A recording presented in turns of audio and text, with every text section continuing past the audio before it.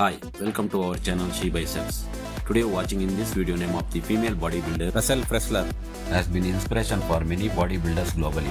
She is a physical therapist assistant and professional IFBB pro female bodybuilder who started her fitness journey with fashion before becoming a global sensation. As a bodybuilder, she always need to maintain her body weight compared to her height, keep her body figure in shape. She regularly attends workout season. She has steadily gained a following on social media, but she has found a way benefiting society with her following. She has been reported to believe social media assistant to be inauthentic and that across her platforms. She tries to be more honest and natural.